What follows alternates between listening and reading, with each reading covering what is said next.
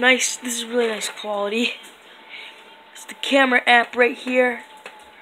Yeah, guys. I mean, not quality. I mean, like very good focus. The quality is all right. It's better in the light. I mean, like in, you know, like bright the brighter light. Let me go to the window.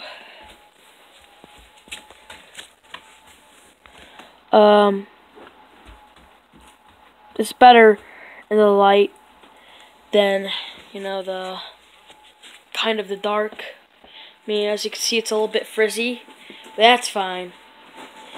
Uh, so guys, I hope you like this video, and I'll see you guys later. And what? What? Can you hold it? And bye.